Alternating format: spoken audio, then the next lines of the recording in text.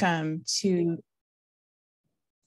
hello and welcome to the next to the session of the CPRA Law and Tech series presented by the Future of Privacy Forum and the Privacy Law section of the California Lawyers Association.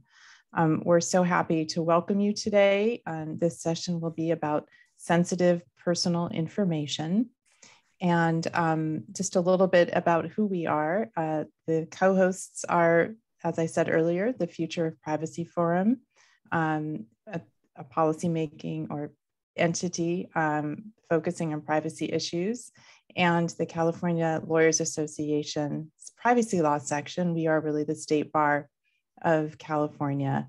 Um, I am Sheri Porath Rockwell. I'm a privacy lawyer at Sidley Austin, and I'm the chair of the California Lawyers Association.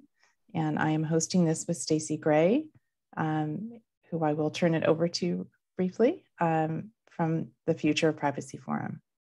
Thanks, Sheri. I'm Stacey Gray. Uh, as she said, I'm the Director of Legislative Research and Analysis at the Future of Privacy Forum, where we're a Washington, D.C. based, but also global nonprofit organization focused on consumer privacy. And a quick a bit about this series before we introduce the rest of our, our excellent speakers for today. This is a Law Plus Tech series that we're hosting every Friday from now through end of March, uh, and maybe a little bit beyond that, each lunchtime afternoon, noon Pacific time. And each week we're going to be focusing on a different substantive topic that is technological or business practice related in nature. And we're going to be focusing primarily on the business practices or the technology with a little bit of introduction in the beginning to why we're talking about it, which is the law, um, the California Privacy Rights Act, which was passed and will come into effect next year, as well as other uh, emerging legislation that is making this kind of information critical to understand for, for privacy lawyers. So today is the session on sensitive data. We're going to be focusing specifically on health conditions, uh, but of course, sensitive data includes other things as well and join us as well by registering at fpf.org slash events for future series on online advertising, dark patterns, manipulative design, and universal opt-outs. Uh, and let me let me turn it actually back over to you, Sheri, for, for the purpose of introducing our speakers. Okay, and then before I do that, just a couple housekeeping notes. One is um, we may have time for questions, so you can post your questions in the Q&A at the bottom of your screen. And also just wanted to let everybody know that we are recording this today. All right, and with that, I will introduce our speakers. We have um, Rob Tookoian. Rob works in the business and finance group at Fennemore with a particular focus on healthcare and privacy. And much of his work encompasses counseling healthcare providers regarding HIPAA, the Stark Law, and the corporate practice of medicine. We also are, have Kate Black joining us. Kate is a partner at Hintze Law, and she's formerly the Global Privacy Officer for 23andMe and previously served at the US HHS's Office of National Coordinator for Health IT. And we also have Charlene Ho. She is a partner at Perkins Coie, and she provides um, strategic advice to all kinds of tech companies um, including on issues relating to artificial intelligence, machine learning, blockchain, digital identity, and extended reality, and all manner of things. Um, she serves as the co lead of the firm's immersive technology vertical, leads the firm's technology transactions and privacy practices innovation committee, and is a founding member of the Privacy Compass team.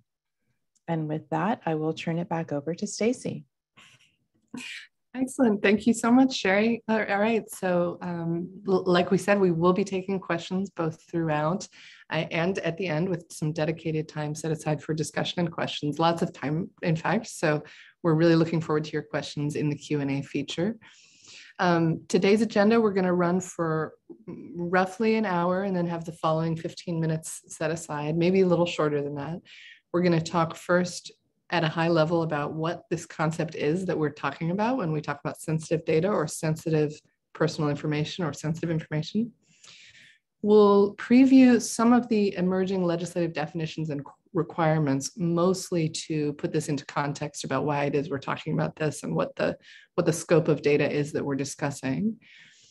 Um, so we'll, in that framing, we'll talk a little bit about what non-HIPAA health data means, for example. And as a couple of case studies, we thought that we would focus today on a specific category of sensitive data that relates to non HIPAA health, fitness, and wellness information. Data that falls outside of HIPAA and CMIA, and we'll talk about what that means, um, but is still related to consumer health. And we'll, we're going to specifically talk through two case studies on that. One related to at-home diagnostic testing, spit tests, and similar testing uh, services for consumers, and one related to mobile apps. And then, then we'll have some more discussion around that. Uh, so with that, let's uh, let's kick it off. We're going to start with you, Charlene, to talk us through what this concept is. What is sensitive data? Yeah, absolutely. So I think the definition of sensitive data as shown in this diagram is that it, it is a subset of personal information. So personal information broadly is information relating to an identified or identifiable person, such as contact name, IP address, advertising ID, or public records. And whereas non-PI on the right-hand side is information that's unrelated to persons, such as machine data, although I will say that recently we've seen movement in the EU to try to have regulations, and there are existing regulations on non personal data. And the definition of personal data is very broad, so it's quite difficult to argue sometimes that something is non personal. Other types of non personal data are data related to groups that don't specifically identify individuals or are sufficiently aggregated or anonymized, such as statistics. So going to the middle of the slide, sensitive PI is somewhere in between. Um, it is it is personal information, and it's personal information that carries heightened risks related to threats, harms, or impacts on private life. And some examples are health records, financial information, race and ethnicity, sexual orientation, religious beliefs, communications, and biometrics. Back to you, Stacey.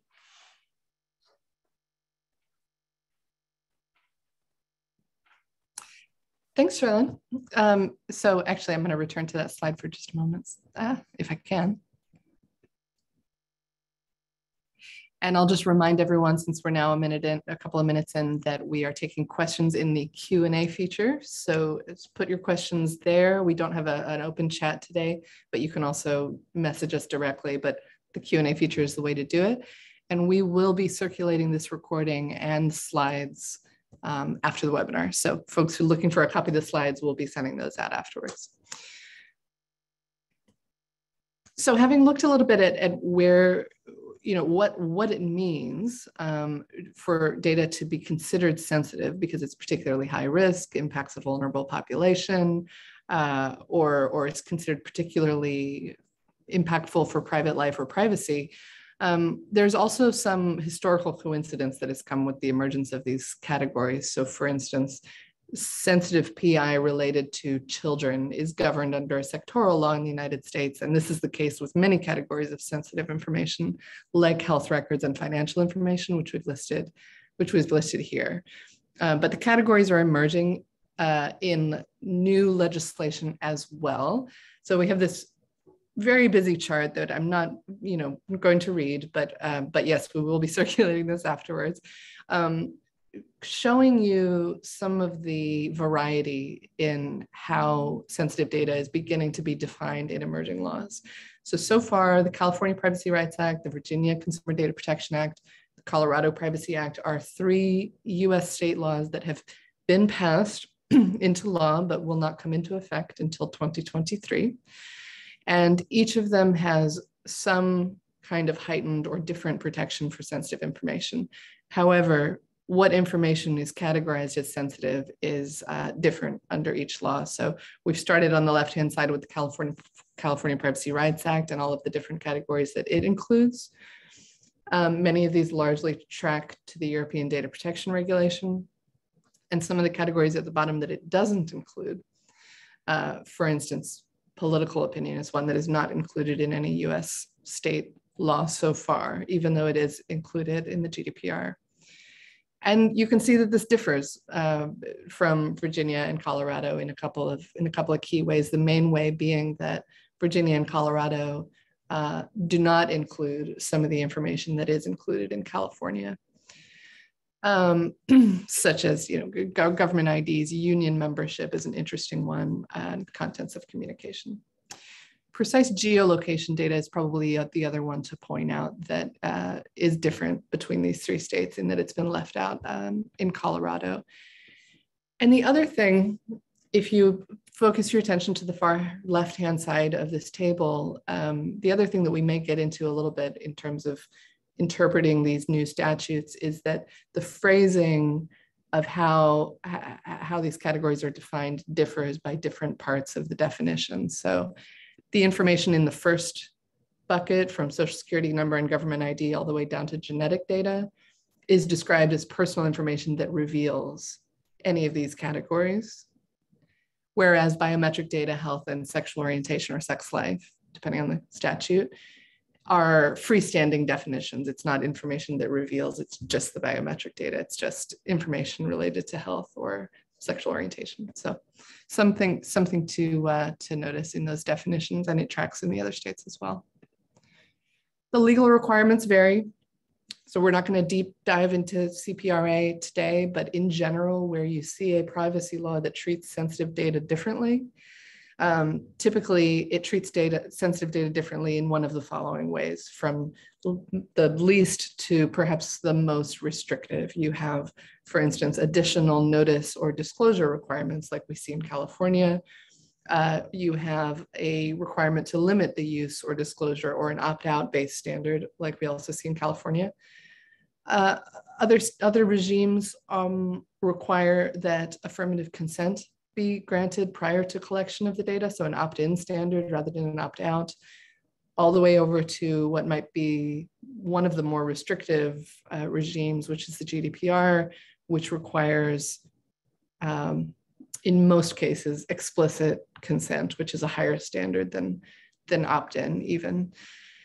Um, and there are many exemptions to that, even under the GDPR. So it's not a hard and fast rule, but this is some, some of the variety. And one that I skipped is reasonable security standards. It's just worth pausing and noting that to the extent that privacy regulation tends to also mandate reasonable security practices, um, the sensitivity or the nature of the data is typically considered a strong factor in what kinds of security practices are considered reasonable with respect to that that data.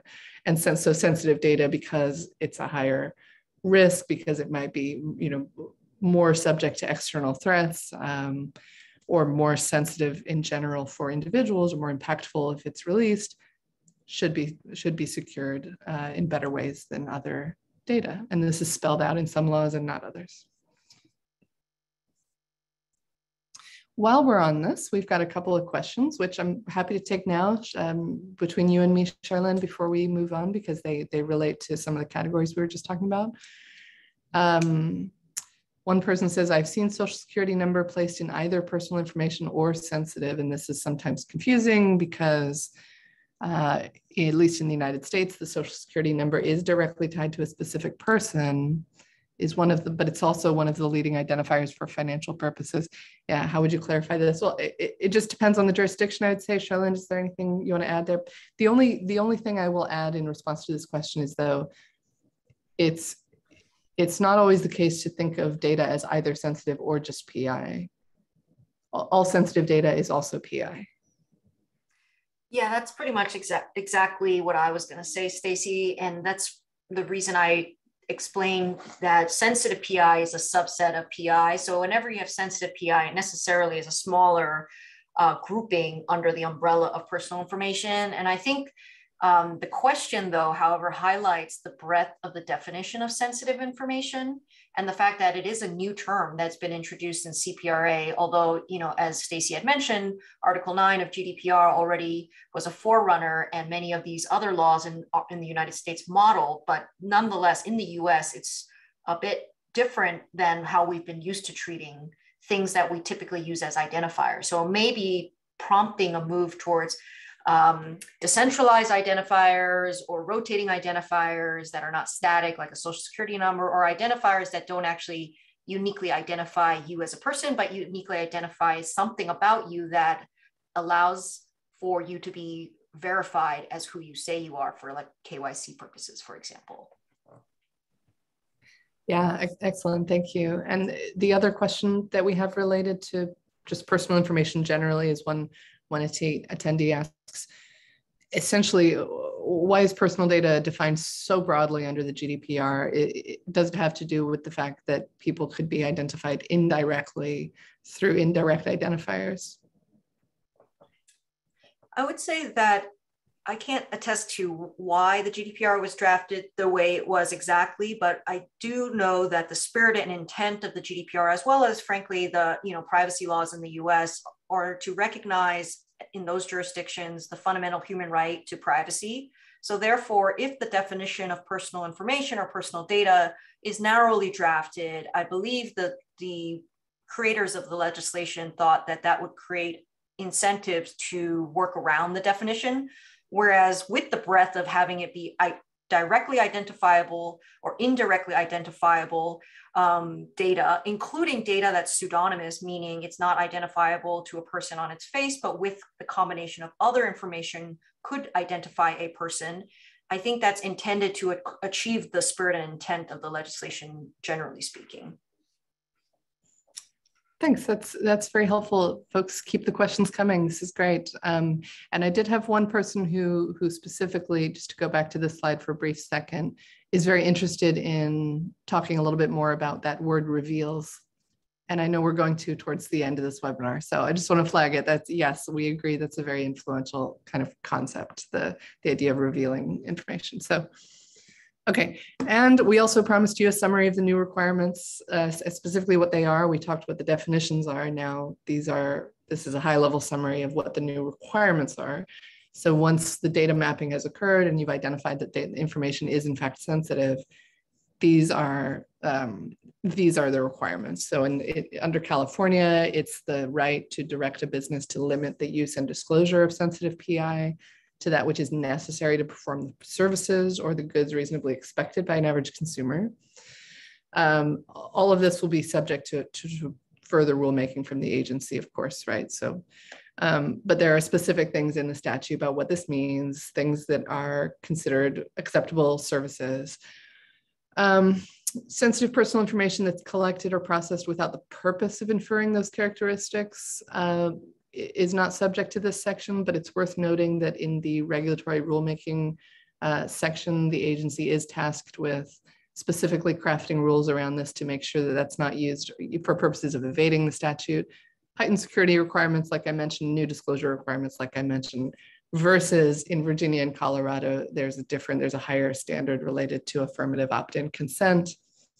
And caveat that all three of these laws are subject to varying exemptions uh, so, so keeping it high level. Charlene, is there anything that you would add about the new requirements? No, I think you covered it. And uh, in the interest of time, we may um, discuss some of these later on and kind of come back in a more fulsome way on these requirements. Yes, I, I agree. Let's, uh, let's move right along and talk about our, our main focus today, which is we're going to dive into some case studies around non-HIPAA health, fitness, wellness data and to start us off, um, Rob, you're going to kick us off with an introduction about what we mean when we say non-HIPAA, non-CMIA.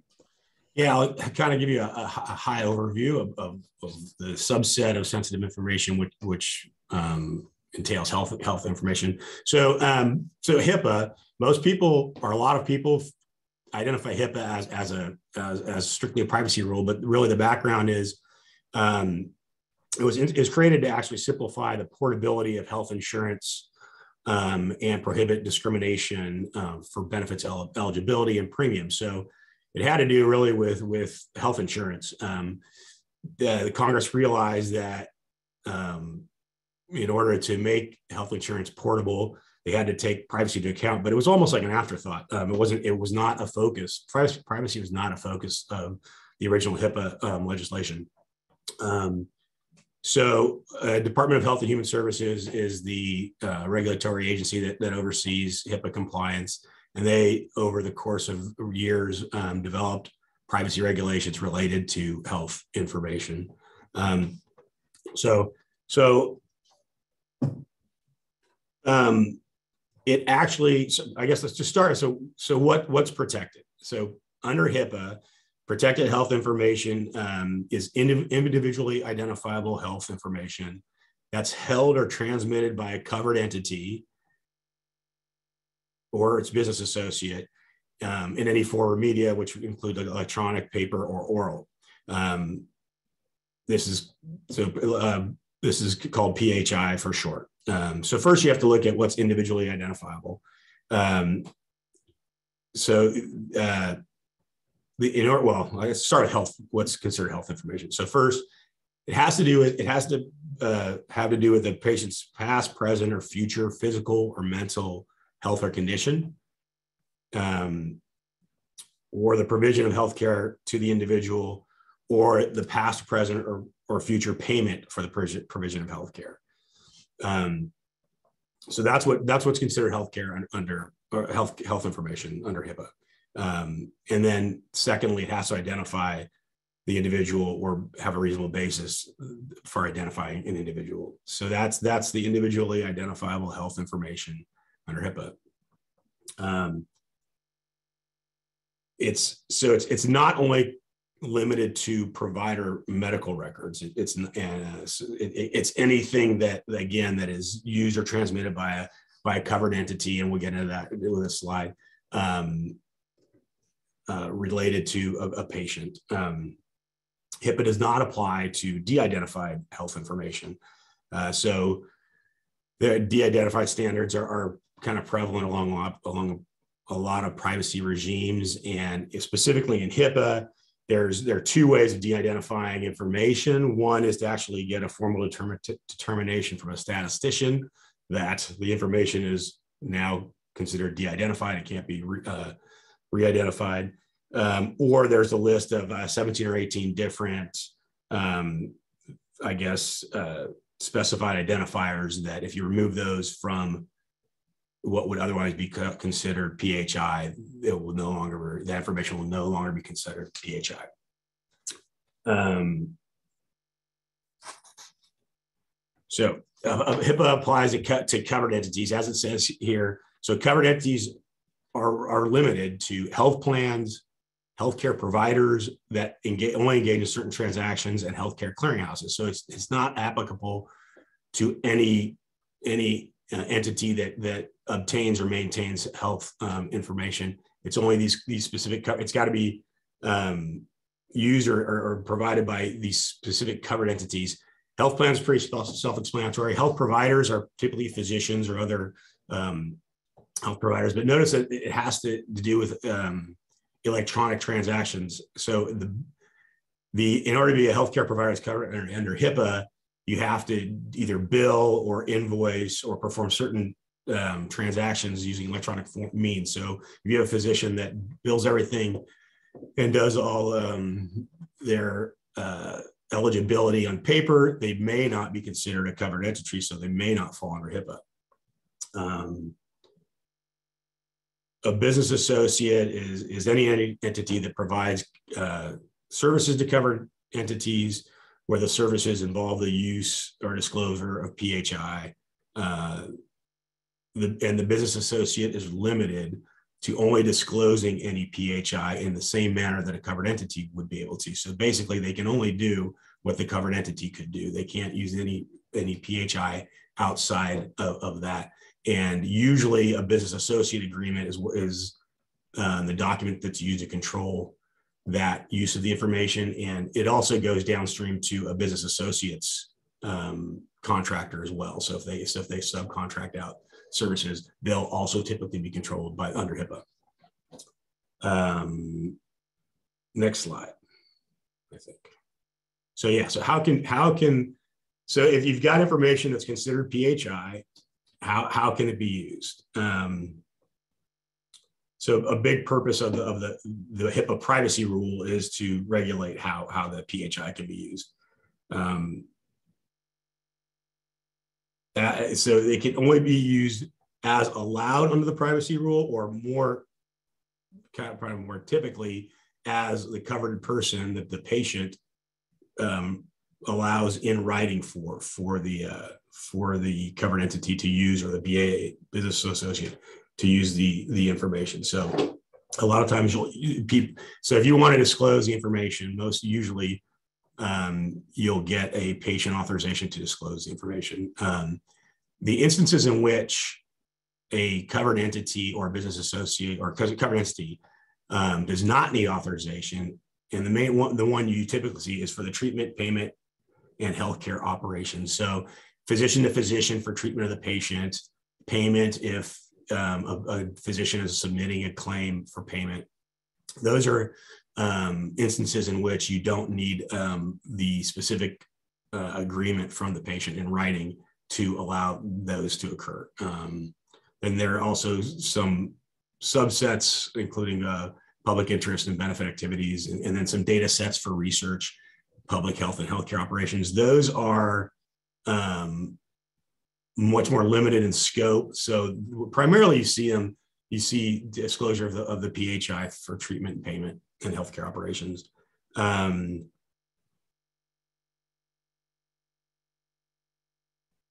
so uh, next slide, yeah.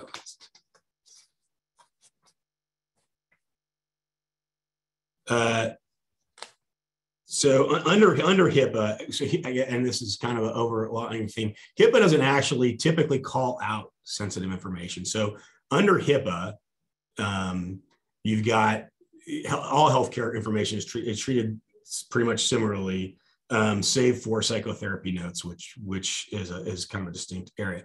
What does happen is is many state laws regulate um, specific sensitive healthcare information differently. So um, in, in the in case California, the Confidentiality of Medical Information Act is uh, is a, is a, is typically um, governs. It actually predates HIPAA. Um, so under under a, a, Cal, a, CMIA or any state law and uh, HIPAA analysis, whichever uh, structure is more restrictive is the one that needs to be followed. Um,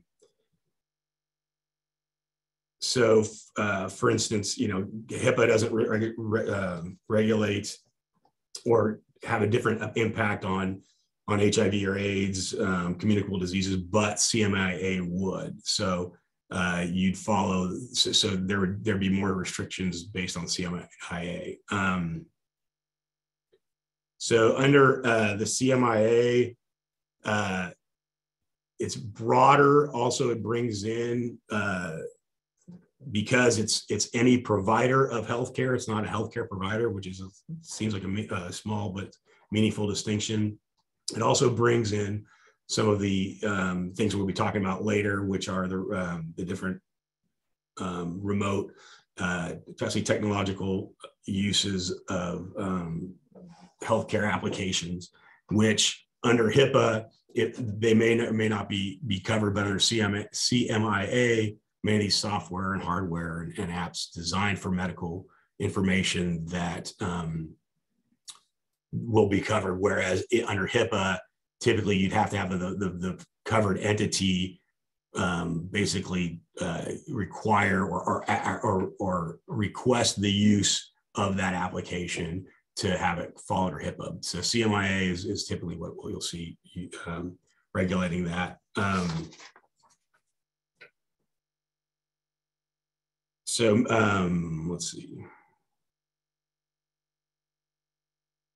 Under so CMI, CMIA applies to any business organized for the purpose of maintaining the medical information to make the information available to a patient or a healthcare provider um, to allow the patient to manage his own medical information or diagnosis. Um, again, I mentioned the CMIA does apply to, to certain sensitive information that, that may not be fall under HIPAA, um, including mental health care information, which is broader than psychotherapy notes um, that, that is covered under HIPAA, um, genetic data, drug and alcohol treatment records, whereas under although HIP under although HIPAA doesn't necessarily re, uh, regulate drug and alcohol, there are other federal laws that do. Um,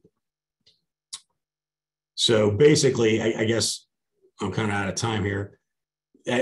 As I mentioned earlier, the, the key really is to look at whatever the regimes that are that, that have effect uh, in the jurisdiction and go with what the most restrictive. Um, so I guess that, that's it. Thanks so much, Rob. Um, we'll bring you back at the end for part of the discussion as well, but this is a very, very helpful overview of HIPAA and CMIA so that we can then talk about non-HIPAA and non-CMIA and, and where we're at. Um, one of the questions in the chat asks about what you just spoke to a little very briefly about cataloging health data as part of an initial security and privacy inventory. Does it need to be done on a per state basis? I mean, on a what basis? On, per, on a per state basis. Uh, so if you well, if you're if you have, I guess if if the, is the question if you if there's you have healthcare information for individuals in that reside in different states, you're going to have to look at each state's um, laws. As far as HIPAA goes, you definitely need to know the workflow of where health information is mm-hmm. is taken in, uh, where it resides, and then who it's distributed to. So there, so a, a like in, mo- in most privacy areas, uh, you need to know the data flow. Um, I, am not sure if that answered the question with regard to um, the different state um, I, I, think with respect to healthcare regulation, very wise. Um, with respect to non-HIPAA health-related information, I'll just add that yes, the, the, the requirements do vary by state, and so it's worth being aware of that. And it's strategically, it's just something you would want to get advice on, on whether it's better to do that per state or go up to the most restrictive uh, version. For, for example, uh, the CPRA defines health information quite broadly, data related to a consumer's health whereas other states like Virginia define it um, more narrowly to include medical diagnoses, right, which may exclude some other things. Um, yeah, and, so, and they do, yeah. They do, I mean, I'm, I'm, not, I'm a California lawyer, but I, I, do think that it's likely that many states have specific uh, regulations related to the subsets of health information that are that we would require, we would consider sensitive. I mean, HIPAA, as I mentioned earlier, HIPAA protects healthcare information the same for the most part the same whether regardless of, of what that information is if it's if it's a if, if it's phi it's phi and you're restricted but a lot of times the states will have different um, more uh, strict regimes i think. All right. Thank you. Thank you so much rob. And like i said we're going to bring you back. We've got more discussion time at the end. And now we're going to turn to our case studies to help sort of talk through some of those differences between um, between how different regulations might apply. But but first, how should we understand how data is actually collected and how it's used? And we're going to do that through a couple of case studies. So let me turn it to you first, Kate. Kate's going to walk us through our first case study related to consumer health testing. Awesome. Thank you, Stacey. If you want to go ahead and advance uh, to case study number one. As you can now uh, probably know from the last several years, at-home consumer testing has really skyrocketed, and there's uh, several different ways that um, this has come to market. You're probably familiar with spit tests um, and the genetic tests that are associated with them, at-home blood testing kits. So you can now um, do an at-home blood test for all kinds of things, from um, you know just basic vitamin level tests to fertility tests um, as well as kind of aging and other wellness related information. And finally, things like microbiome tests, where you can test either your stool or your stomach or even your skin to see, you know, what is the is the makeup of your microbiome. And I wanted to walk through these as a case study to really give you a sense of the various points at which sensitive health data may be collected or inferred or developed, and what scenarios um, are much more kind of uh, gray space, so to speak. Um, so breaking down this business model kind of process by process. And so on the next slide, you'll see the first of, of two basic ways that this happens. And uh, apologies to everyone, I'm terrible with my slides. So uh, just pretend that a, a kindergartner did this. But Um, in the first basic model, there's there's really three people or three entities who are um, working to develop and deliver this test kit and information set back to a person. So the individual uh, here on the left were to order a test kit from a likely online test service provider. Um, they may have visited a landing page that said, you know, find out your vitamin D levels. And so their, their geolocation as well as their IP address could be associated at a basic level with several different kinds of health conditions or health information. Whether or not that would be considered sensitive data is really varied based on state law. In California, I think you may have a strong argument that it's not, but um, in places like Virginia and Colorado, I'm sorry that it is, but in places like Virginia and Colorado, you know, that data uh, is not necessarily being used to infer a diagnosis or a health condition. And so therefore is less likely, I think, to be considered sensitive. From the e-commerce site, the individual would order the kit the testing company would send them the physical kit to their house or, or their place of business. The individual would provide their biosample. That biosample, either spit or blood or skin, uh, whatever the case may be, would go to a third party lab for processing. The third party lab is likely a service provider of the testing organization, but most of the time, these processing facilities are completely separate third parties. Sometimes they're subject to HIPAA, sometimes they aren't. It really just depends on the type of service.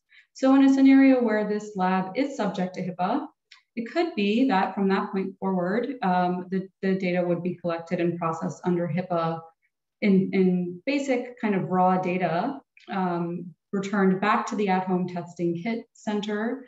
And then that company would perform a whole host of processing activities. It would uh, get back the raw data. So it's not going to see the biosample at all, but it will see the raw data output. It may combine that with additional information that the person has provided to the site. So if uh, I'm a female, my age, and let's say I have a history of, uh, you know, low vitamin D levels, to put the example, that could be combined with my, my blood test results. And they could interpret that test directly. So that would be an interpretation of what my vitamin levels are whether or not that's considered a health condition or diagnosis, again, um, I think would be an interesting point to analyze under the laws. And they could make also some additional inferences and um, predictions about my health and overall well being.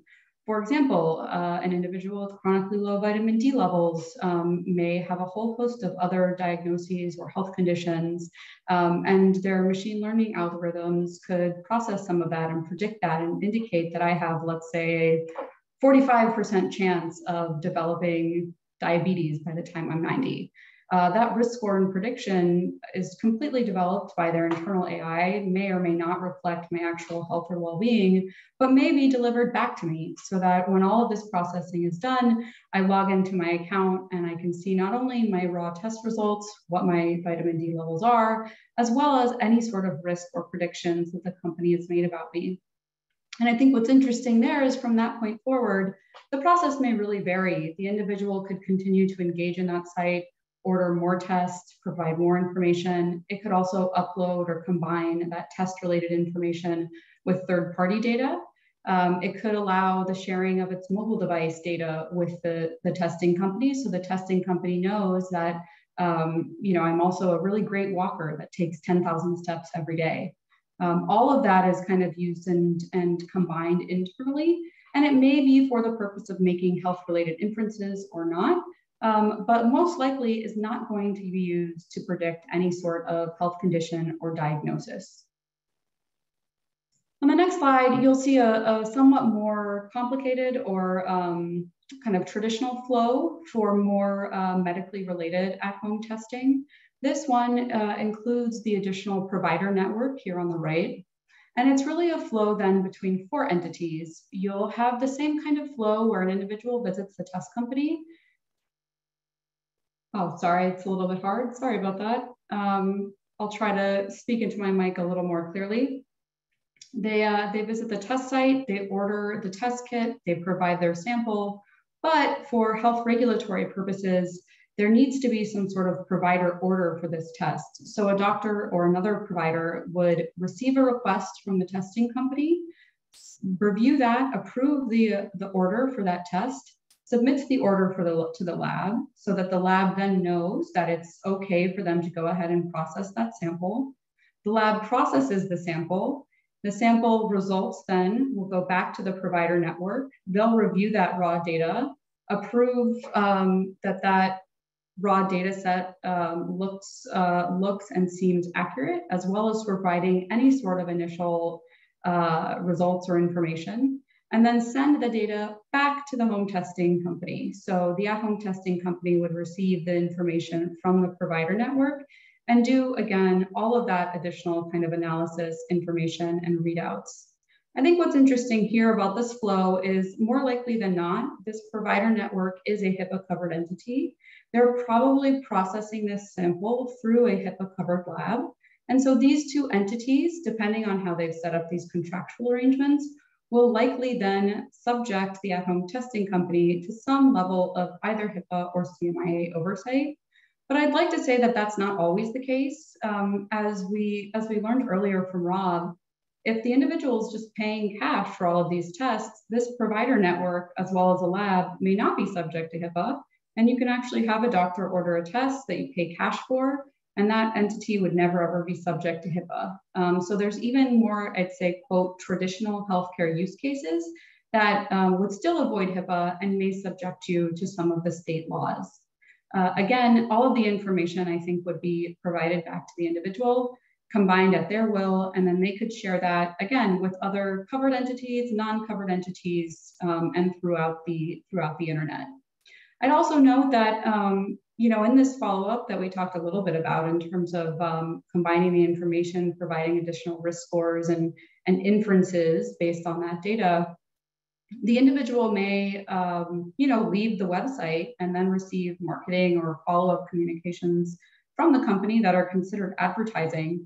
And whether or not that individual is being targeted or at least um, inferences or profiles are being made about the individual's health to offer follow-up testing or additional marketing or advertising, I think is a really interesting use case for uh, the fringe kind of third, second and third parties that may be affected uh, by the, the health and sensitive data provisions. I see there was a question about the provider network being a HIPAA covered entity. As I mentioned, in most cases, they probably are subject to HIPAA, but if the provider network is only receiving cash compensation and it's not submitting any electronic transactions, there are several provider networks out there that will continue to operate that way and are not going to be subject to HIPAA as a result. And then, Kate, are, are there particular relevant differences here between HIPAA and non-HIPAA covered entities in this flow that impact commercial use cases. I mean, for example, both, both HIPAA and many leading state laws both have a right to access information, but they might be different um, or, or, any other relevant differences? Yeah, I mean, I think overall, uh, HIPAA is going to really focus around that care provision use case. So while the individual has right to access, they can expect that their data will only be shared with other entities that are involved in their care. So another healthcare provider, their billing and insurance agency, a laboratory, et cetera, et cetera.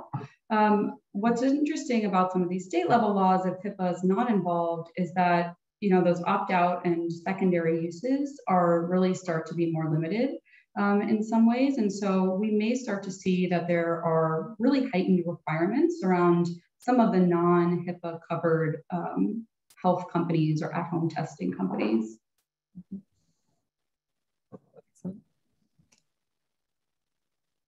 We'll pause here for just a second in case anyone wants to throw in another question for Kate.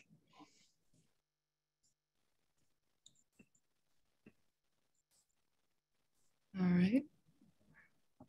All right. Well, Kate, thank you so much. And we'll, again, we'll bring you back at the end for the discussion uh, a, a, little bit more on some of those inferences. Um, let me turn it now over to you, Charlene. So you've got our, our second case study you're going to talk us through a little bit of the data collection and data flows process in mobile apps that impact non-HIPAA health data. Yeah, thank you, Stacey. So building off of what Kate said and uh, all the things she mentioned about how to slice and dice different data flows to either be subject to HIPAA or not subject to HIPAA are equally applicable with respect to mobile apps. And in fact, um, the Health and Human Services Department issued guidance on um, mobile app development, particularly relating to health and identifying whether HIPAA was in, implicated or not. But for the purposes of this case study, I'm going to focus on kind of wellness, uh, fitness, and health related, but non HIPAA subject data. And so the three kind of big topics I'll cover in this brief case study is how do we advise people, companies to think about mobile apps that may deal with, you know, fitness, wellness, health in general, but don't trigger or maybe uh, do trigger, and at least if they do trigger the requirements of sensitive information or sensitive data under various laws, that the developer of the mobile app is prepared to comply with whatever requirements are associated with processing or collection of that data. So for example, what if the there's a mobile app that is relating to wellness for a particular ethnic group or a particular you know grouping of individuals so for example you could elect i'm not going to name any names but you can elect to put yourself or self-identify to a particular racial group um, or ethnic group or sexual orientation group um, by following topics, for example, of interest in a blog, for example, um, that you browse through a mobile app. That could possibly be sensitive data, and we'll go into a little bit more what that means and how you would determine that. But just think about the, the possibility that that could happen. Um, another type of mobile app category I wanted to focus on is what if there's a, a service that's directed towards but not exclusive to a particular group of users? Maybe it's a fitness app for a particular uh, racial group, for example, or a particular you know group of you know people that are of a particular social uh, sexual orientation but it's not necessarily that you have to be in that group to use this service or this app um, and then the third point i wanted to make is mobile apps that don't process sensitive information on its face. For example, uh, if you have an e-commerce site, that's just kind of a general e-commerce site where you can buy clothes or you can buy shoes or you can buy whatever. But the use of big data analytics and artificial intelligence through inferences and through the way that AI machine learning takes input data, applies certain learnings to it, and produces certain outputs, whether or not that in and of itself, the output could be deemed sensitive information or reveal sensitive information. So those are kind of the three themes that I want to focus on um, in this case study. Uh, next slide, please. So with respect to sensitive data, I mean, this just for the purpose of the case study, I just want to flag how the definition is very, very broad and if you don't think through it carefully, you could run afoul of collecting sensitive information without really even realizing. For example, steps, workout logs, heart rate. When is it considered relating or concerning health? Um, quote unquote sex life data. What does that include? Again, like if I um, opt into an interest group for LGBTQ, does that automatically indicate my sex life? Or is it just a purely an interest and may or may not be sensitive to me as an individual. Uh, philosophical beliefs, again, the different states and GDPR and probably other laws all have different inclusions of categories of what constitutes sensitive, but many times the subcategories within sensitive information are not defined and again can be kind of construed very, very broadly. And currently, at least with CPRA, the Virginia law and Colorado, we don't really have a lot of guidance on the parameters of those definitions. So if you, if you look at sort of the spectrum of sensitive, non-sensitive versus sensitive, um, there's you know data that's clearly non-sensitive and low risk or clearly high risk or sensitive. But the reality is that most uh, data that we may collect may fall into either category based on the context or use and thus may differ uh, between covered entities. So for example, sensitive data might be um, when you use data for routine or non-sensitive purposes, but could be sensitive data by the nature of the type of the data that it is. Or it could be non-sensitive data like shopping purchases or device usage, but that could be used to reveal, for example, I always buy um, you know, Advil on a certain day, or I'm, I, you know, buy these types of nutritional supplements. Um, and it could be not necessarily sensitive individually, but over time could essentially indicate uh, an inference or reveal information about my health uh, or other parts of you know myself that are deemed sensitive information under the law. Uh, next slide. So, so this slide, is sorry, it's a little bit busy, but just wanted to kind of put these definitions here to dive into particularly the question that was asked earlier and some of the interesting features of this is all from CPRA, but for example, the definition of personal information includes both inferences and separately sensitive information. Um, and whether or not an inference itself can be can constitute uh, sensitive information, I think is TBD. That, that's not entirely clear whether an inference on its you know, independently can be deemed sensitive information. But um, the words that I've bolded and italicized here, like that reveals, I think that's really, really interesting um, to think about because whether or not something reveals someone's consumer's social identity, uh, social security number, precise geolocation, racial or ethnic origin, I think is a big question mark of what that means and the implications of what that means. And we don't, as I said, currently have guidance from the American regulator uh, in California, but the UK ICO has released guidance on what constitutes revealing special category data. And according to them, um, the GDPR special category of data includes not only personal data that reveals specific details about a person, but also personal data revealing or concerning these details. And whether an inference constitutes special category of data depends on whether you're deliberately drawing that inference of a special category data point. So if you're specifically trying to draw someone's race out of data, for example, and how certain that inference is, i.e. if there's a reasonable degree of certainty that you can infer a particular characteristic that falls into the definition of sensitive or special category data, then that inference can in and of itself be sensitive. So anyways, I know we I want to leave some time for questions. So I don't want to go into all the nuances of the law, but I've kind of just indicated in bold and italics some of the interesting things and some of the key words that I've found to be really um, you know, important in nuancing how to think about sensitive information when it, when it comes to mobile apps or just more broadly.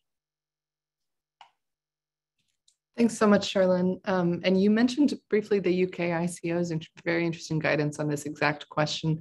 Are, are, you familiar with any other guidance out there that you would point folks to? Um, and I'll caveat that I'm I am not, so I'm curious if you are.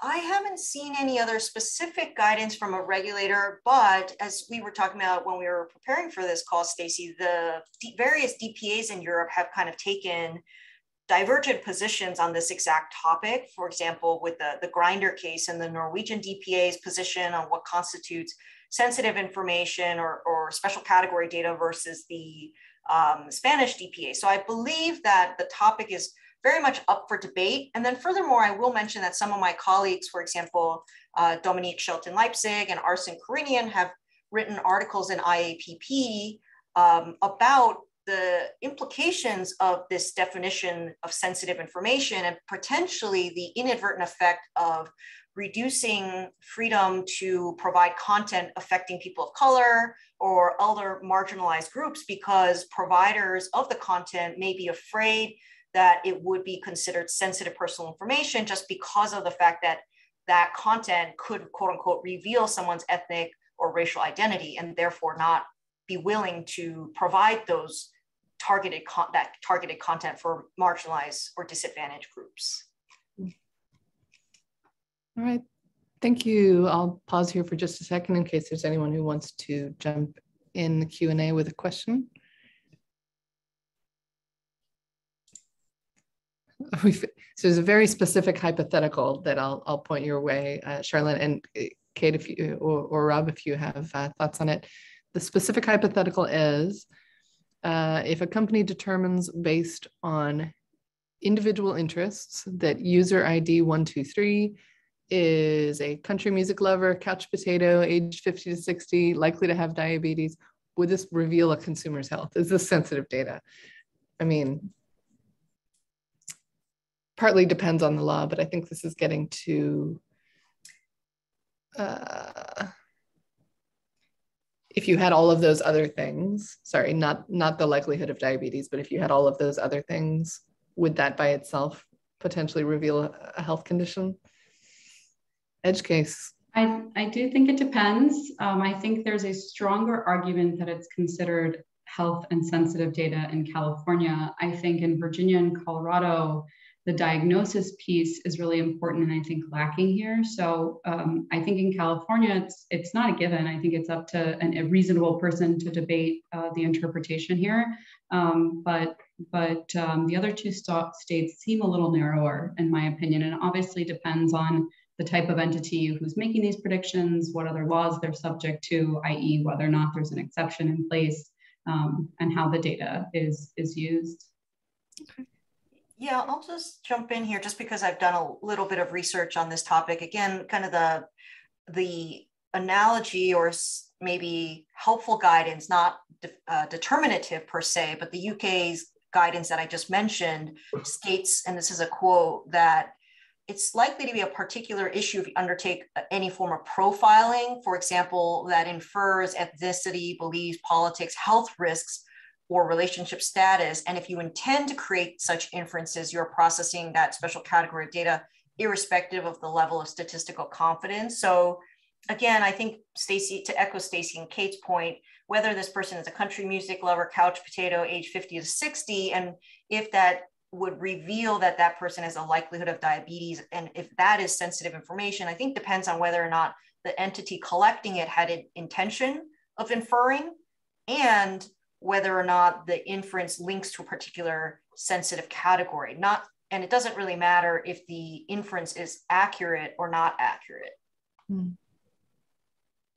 And I've, I've also heard this come up a lot where um, companies will ask, you know, well, what what is an inference? I think depending on the nature of the company and the overall company's goals, it would be hard to argue that you're not purposefully making that inference for health related reasons. Um, if you are a health and wellness or biotech or consumer health company um, and have other processing activities related to the use of that, if if you are a, a music streaming company and you may infer that they uh, are likely to have diabetes, I think the the purposefulness is much different. Okay, thanks for kicking us off with that first question. I'm to stop sharing the screen now so that we it'll just be easier to see us and have a conversation. But like I mentioned earlier, we're to have these available afterwards as well, and we'll we'll dig into some of some of the other questions for the next uh, 15 minutes. And I'll invite Sheri, please please join back in the conversation as well too. You're very very very welcome. So um, let's see.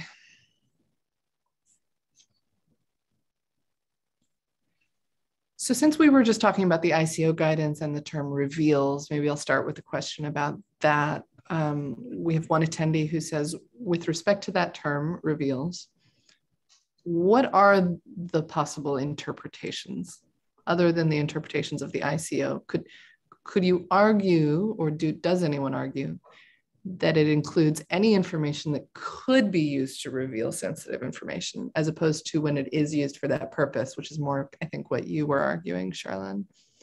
Um, do we have answers to this yet?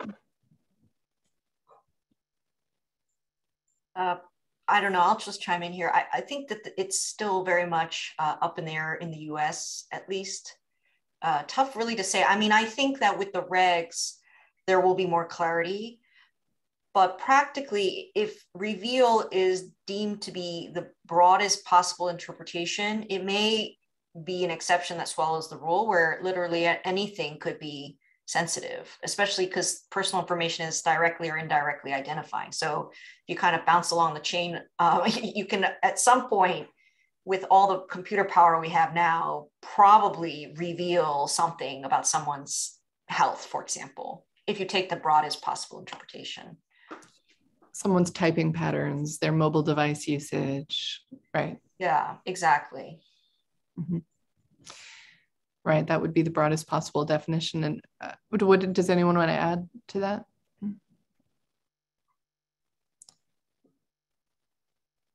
Sheri's looking thoughtful.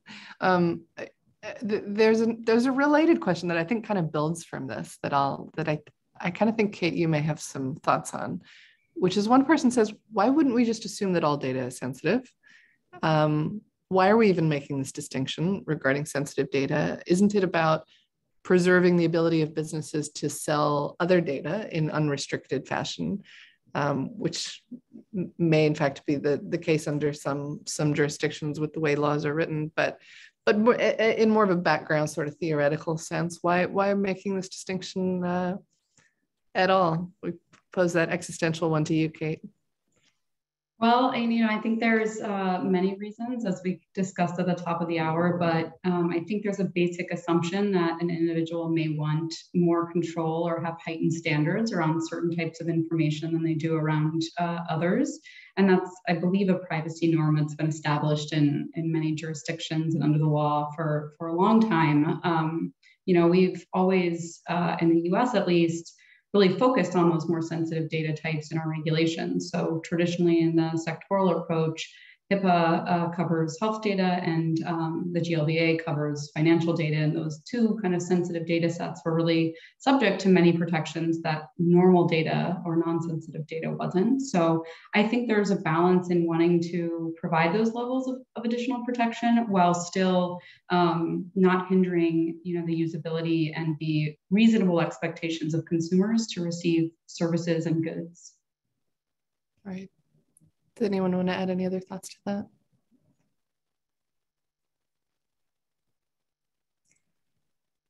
I mean, I, I think that it's an interesting question. I would actually argue, or maybe not argue is too strong, but posit why wouldn't we just have all information just be personal information and have no sensitive information category at all? Because having the distinction is indicating that some kinds of information is more um, high value or, or needs to be protected more than other information. But as we've seen, when you actually, that sounds great in practice, I mean, in principle, but in practice, when you actually think about it, it becomes very difficult. So does it really muddy the waters and make it harder for companies to comply with privacy laws with all of these um, distinctions that in some cases are actually quite arbitrary? Right or, or, or, certainly becoming more blurred through through the advancement of technologies like machine learning and ai that you were talking about. Yeah. Mm-hmm. yeah, yeah. Very very interesting. Um, and uh, charlene how would you characterize the gdpr would you characterize that as primarily applying to personal information with kind of a narrow piece on sensitive? Yeah i think so. I mean there's i think so. Um, I, I, in you know, in my work, I have generally talked to, to, clients about personal information and through the data mapping, we've tried to identify if there are any special, special category types of data. And then obviously when we do standard contractual clauses or any types of DPAs on the scope of processing, we'll have to identify if there's special category, but it's not the focus, I suppose, of the counseling because we kind of holistically approach a client's privacy compliance. But you know, with the definition in the CPRA at least, and then potentially in the Virginia and Colorado laws, I think it's spurred uh, vigorous debate in the U.S. just because we haven't really thought uh, or had to kind of parse the data in this way before. Yeah, lots of food for thought on that. Excellent, excellent question. Thank you to uh, the anonymous person who who sent that one in. Um, we've got a couple of more really, really great questions in the Q&A. So I'm, I'm going to direct the next one to you, Rob, and I think you probably already know which one it is. um, there's a, because it's about PHI and, and HIPAA. So the question is, is there anything in privacy laws, presumably HIPAA, CMIA, that prevents healthcare and life sciences companies from communicating directly with data subjects and financially or otherwise incentivizing them to share their PHI or sensitive PHI or non PHI data, provided they're fully transparent with what they plan to do with it. I, you know, I guess it, it's, it, I mean, I, would say you, you should, you're not supposed to do that, especially if the healthcare is coming, if the information is coming from a covered entity. If you're a covered entity, you're not supposed to market use that information to market directly to, to, to, to the patient. Um, at least, I mean, that's kind of a general general requirement. So yeah, I, it's not something that you're really that you can do. There's also uh, for non potentially non-HIPAA covered entities, um, the common rule that manages human subjects research um, and the oversight of, of um, data to create generalizable research. Um, there's no hard and fast prevention uh, of, of paying data subjects, but they, they do need to make sure that the financial incentive does not unduly um, influence the individual's decision whether or not they want to participate so that the consent to participate is freely given and, and not um, influenced. And, and I think under HIPAA, Rob, you can correct me if I'm wrong, but you can obtain with full transparency, you can obtain authorization from a patient. Um, yeah, you can uh, to market to to, and if you have, if the covered entity has a financial interest in it, you know, you need to disclose that. But but if a yeah, I mean, generally, yeah. generally a patient i mean you you actually you'd have generally you'd have to disclose if a patient asks you in writing to disclose information with your phi to whoever they want you to then yeah you have to you have to do that um, it's a kind of an underlying requirement so yes so if the patient says yes dr x i would like you to provide my information to this this entity then yeah you have to do that Right. And then the I was just saying the covered entity could um, could disclose, you know, I'd like to disclose this to entity XYZ. Um, do I have your authorization, written authorization to right. do that? But that's also permissible, just to yep. clarify. Yep. Okay, great. Great. So uh, this one might be for you, Sheri. Do, do you imagine the new uh, California Privacy Protection Agency might expand the list of sensitive information. I, I understand CPRA gives them the ability to do that, correct? Yes, it does. I mean, I think it's already quite broad, frankly. Um, it's hard to imagine how they would how they would go uh, broader than that. Um, hopefully, we will get a little bit more clarification on the issues that Charlene highlighted. Um, but you know, I don't I don't think there's been any indication that they would go broader. Yeah. Uh, I, I, nor have I seen any indication, but of course they could. Um, and the the point about political view or political affiliation is pretty interesting one because that's a big point of divergence. Not, none of the U.S. states currently regulate it directly, but it's considered special category data in the EU. So very interesting. Um, all right. keep questions coming, folks. We've got another really interesting one around AI and machine learning. So many patients, I'll just read it.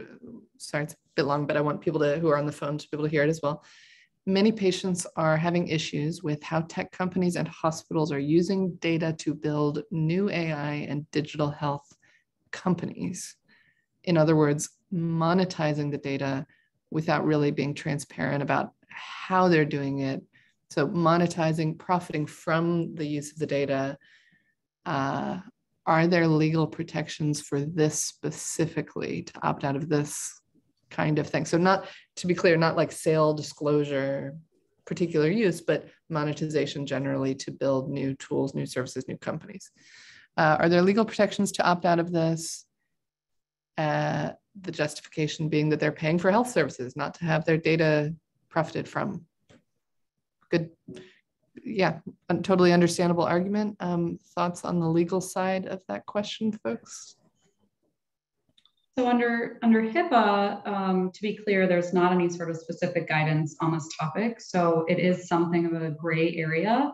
Um, generally speaking, though, the, the guidance out of HHS has been that processing activities should be related to valid um, you know, data processing uses under HIPAA. So a lot of times covered entities or their business associates will make the argument that they are creating new AI or machine learning in order to improve their healthcare operations. Um, and I think if if they are, and it's clear that that is a permissible use under HIPAA, um, then I think it would be hard to have a strong argument against it from an HHS kind of HIPAA enforcement perspective. That said, I think it gets incredibly murky very quickly. So, the extent to which you're using PHI to develop other products or other services, um, or uh, you know, for for any purpose unrelated to your operations or for the patient's treatment, I think um, that's quite more complicated um, and something that's I think legally a lot riskier.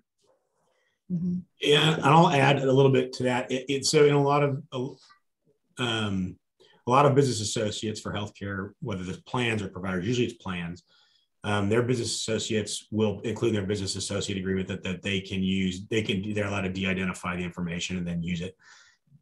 Um, plan health plans, particularly employer sponsor uh, self-funded plans, may want to restrict that de-identification because that's exactly what it's being used for. Typically, is is that business associate's going to aggregate that or use use it for however they you know whether to develop new apps or whatever it is they're going to use that and then you know they'll somehow monetize that. So that's a consideration.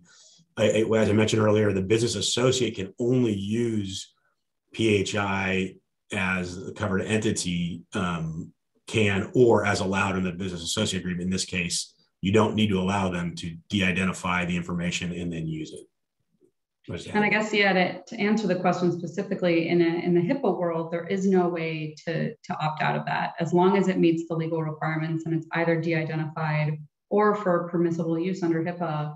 There's no there's no opt out ability for patients. Patients, right? Yeah, and I'll, I'll chime in from like a non-HIPAA perspective. So with respect to health data that is not HIPAA subject, the currently there is no uniform AI transparency requirement in the United States. There have been many bills that, including at the federal and various state levels.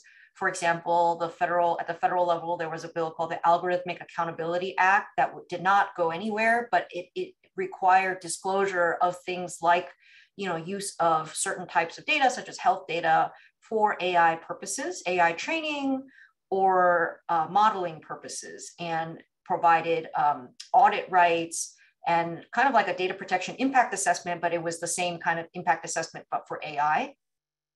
So currently without that type of either federal or state protection, we're governed by the patchwork of laws that generally govern privacy. Like for example, under FTC, um, regulations, you would still, I think, want to be transparent as a company on how you use AI. And in fact, the FTC has had a number of symposiums and guidance on use of big data and sort of best rules of the road, although it's not, you know, quote unquote law per se.